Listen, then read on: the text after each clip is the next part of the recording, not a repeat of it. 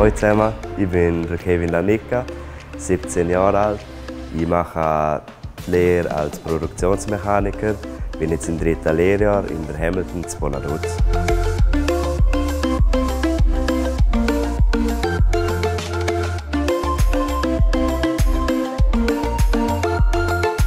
Also als Produktionsmechaniker in der Hamilton mache ich genau die gleichen Arbeiten wie ein Polymechaniker, nur der Unterschied findet man vor allem in der Schule.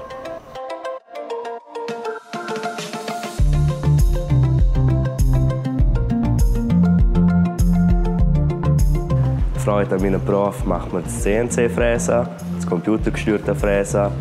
Man kann dort sehr gut sehen, wie man Rohmaterial in die Maschine reintut, nachher ein fertiges Produkt rausnimmt. Und speziell bei uns in der Firma, bei uns Lehrlingen vor allem, dass wir auf modernen Maschinen dort arbeiten können.